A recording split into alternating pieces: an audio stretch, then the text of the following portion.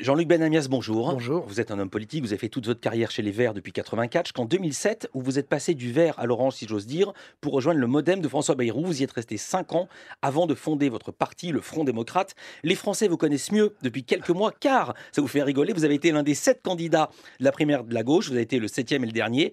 Euh, juste un mot, vous êtes combien dans le parti que vous présidez, le Front démocrate? 1500 1500, ça vous donne envie de rire ou pas?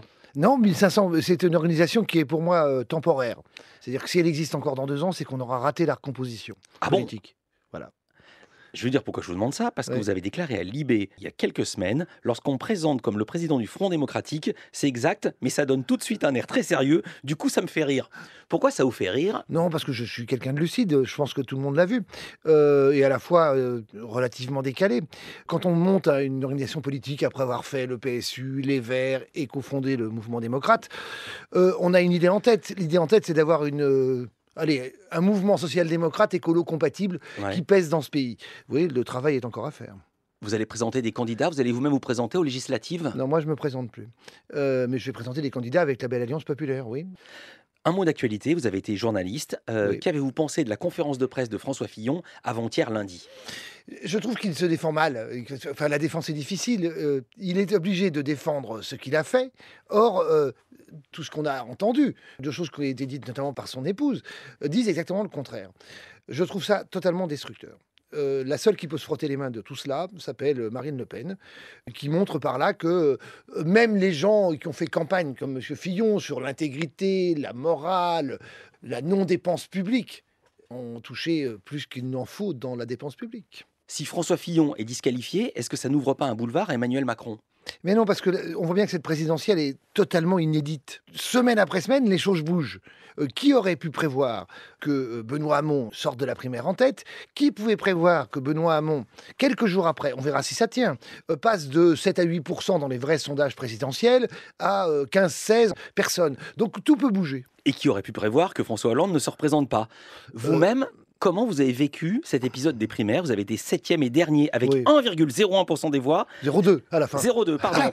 16 898 voix. On ne demande jamais ça au dernier. Est-ce que vous avez été déçu? Non, parce que je ne savais absolument pas si je pouvais faire euh, 0,3%, vous voyez à qui je pense, euh, jusqu'à 2, 3, 4%. Oui, j'aurais aimé euh, plutôt atteindre les 2%, mais tout ça n'a pas beaucoup d'importance. 0,3%, euh, vous faites référence à Jean-François Copé, qui ça. était le dernier de la première de la droite, sauf que vous avez eu plus de voix en valeur absolue que lui. Il Oui. n'en a obtenu que 12 000 et Oui. des bananes. Oui, Qu'est-ce que ça vous inspire? Ça m'inspire que tout est possible en politique et que tout le monde a bien compris que je ne me présentais pas dans ces primaires pour être président de la République. Ah, vous disiez quand même, moi président, voici ce que, je ferais. ouais, d'accord, ok, je l'ai dit une fois dans le deuxième Ouais. débat pour montrer que j'étais capable, moi aussi, avec l'expérience politique que j'ai, de jouer le jeu. Mais soyons clairs, je me bats contre ce système tel qu'il est euh, mis en place depuis euh, la Ve République. On n'aura plus jamais de De Gaulle ou de Mitterrand. Nicolas Sarkozy et François Hollande l'ont vécu à leurs dépens. Vous soutenez Benoît Hamon et vous proposiez, euh, c'était lors de la primaire déjà, le revenu universel Oui. pour tout le monde d'environ 800 euros.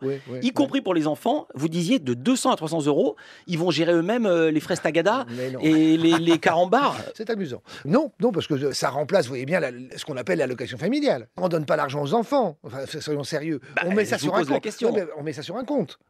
C'est-à-dire c'est un compte qui permet euh, à à 16 ans ou 18 ans à l'enfant qui sera devenu euh, adolescent avec un cerveau de bénéficier d'une d'une prime de départ, on va dire ça comme ça, dans la vie. L'idée du revenu universel, je l'ai dit pendant les primaires, est la seule idée nouvelle à essayer par rapport à la Allez, au fait qu'il n'y ait pas 6 millions de chômeurs et 8 millions de pauvres dans ce pays. C'est la seule idée nouvelle. Combien touche un commerçant dans un village de 500 habitants ou dans une petite ville de 2000 habitants Dans la journée, il se fait quoi? 50 euros, 60 euros? Le libraire, euh, l'épicier? Je préfère que les gens restent avec une activité et que l'État ou les collectivités territoriales aident ces activités et qu'ils ne soient pas au chômage. Jean-Luc Benamias avec nous sur France Info, on se retrouve tout à l'heure.